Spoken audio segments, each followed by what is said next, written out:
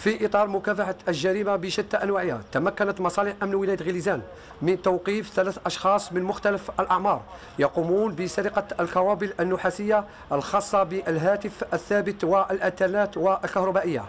بعد ورود معلومات إلى ذات المصالح مفادها وجود أشخاص يقومون بهذه السرقة. عليه تم إعداد خطة محكمة من قبل عناصرنا. أين تم إيقاف المشتبه فيهم واسترجاع المسروقات المتمثلة في كابل نحاسي من نوع 112 زوج يقدر طوله 62 متر ومجموعة من الخوابل النحاسية المختلفة.